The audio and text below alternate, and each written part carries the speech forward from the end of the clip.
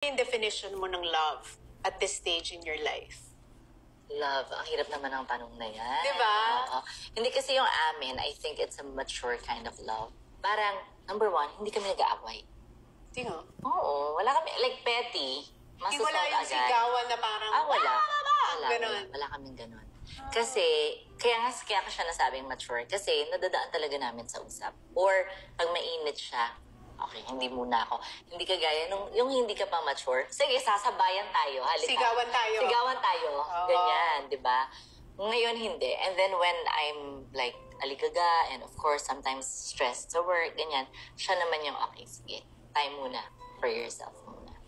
Ah, may ganun kayo. Ah, ah. Yung space. space. Oh, pumunta lang na sa ibang kwarto. Yun naman ang space namin. Di ba? Nilang kwarto lang. May nabasa nga ako na the partner you marry will determine 90% of your happiness in life. That's true. Kasi you're with him every day. 24-7. Katabi And mo. for the long run, For the long run, maski anong mangyari, pag maging empty nesters tayo in the future, empty nester yan yung malaki na yung mga anak nyo, Ah. may buhay na sila, college na sila. hindi, hindi na kayo kailangan sa buhay nila. Parang sila Mami Pinti tsaka Daddy Ganon. Bonoy, gano'n. Oo. Parents mo din. Oo, Gano'n na rin ganun sila. na. Kaya, ayun, ganun sila. Travel sila together.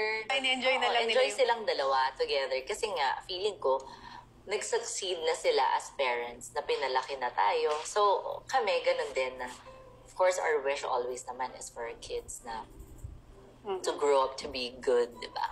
And kind and compassionate.